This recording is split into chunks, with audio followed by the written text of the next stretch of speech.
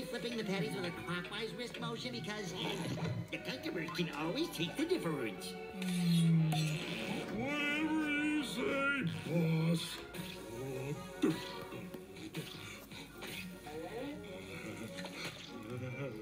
No,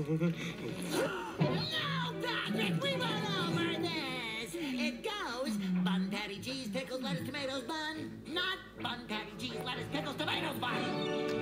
That's it! This was supposed to be fun, but now